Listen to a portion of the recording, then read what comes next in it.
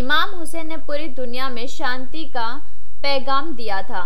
मुंबई में 19 नवंबर को हुसैन डे मनाया गया, जहाँ पर सभी जाति और धर्म के लोग मौजूद थे।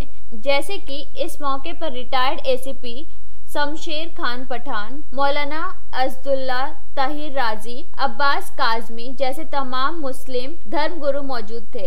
और इन लोगों ने कहा कि आजकल दुनिया में सिर्फ़ हिंदू नहीं, बल्कि हर जाति के लोग माने जाते हैं। रहीम मुझे शेर मोहम्मद जाफरी कहते हैं और आज हुसैन डे मनाया गया।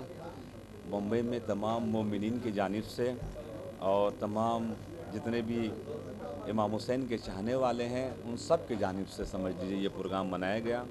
क्योंकि इमाम हुसैन ने बहुत एहसान किया है इंसानियत के ऊपर तो लिहाजा जो भी इंसान है, उसका फरीज़ा है कि वो इमाम हुसैन सलाम को श्रद्धांजलि पेश करे, कि चूँकि इमाम हुसैन वो शख्सियत है जिसने यजीद ने कहा था, माँ कोई चीज़ नहीं है, बेटी कोई चीज़ नहीं है। इमाम हुसैन ने कहा, नहीं, माँ माँ है, बेटी बेटी है, बीवी बीवी है। अब जिस जिस घर में माँ माँ है, बेटी बेटी है, वो हुसैन को सलाम करे। ये सब कुछ बचाया है इमाम हुसैन सलाम ने।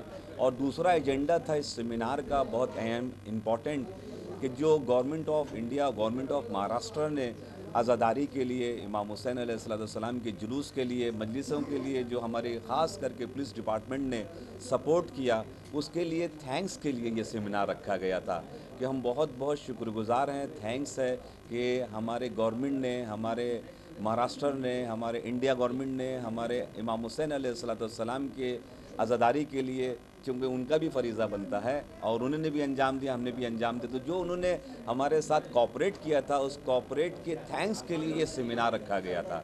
साहब की बातों को दोहराने या उसकी बातों सब बातों को लब्बैक कहते हुए मैं ज़रूर कहूँगा कि ये आप लोग मीडिया से रिक्वेस्ट है कि इस पैगाम को दुनिया में पहुँचाएँ और आज के मिशन यही है कि आपस में भाईचारगी हो, एकता बनी रहे।